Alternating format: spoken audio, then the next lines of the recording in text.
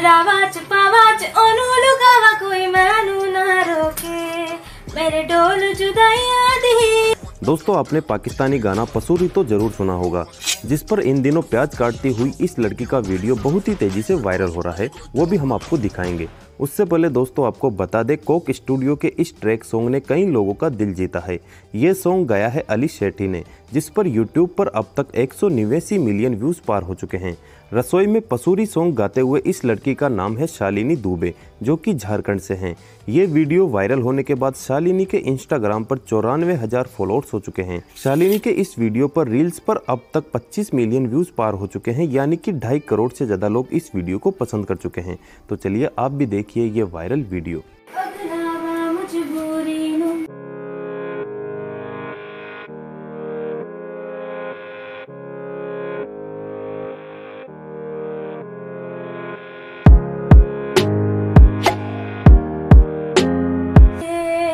दोस्तों, ऐसे ही सोशल मीडिया से रिलेटेड अपडेट्स पाने के लिए वीडियो को लाइक शेयर और चैनल को सब्सक्राइब करें।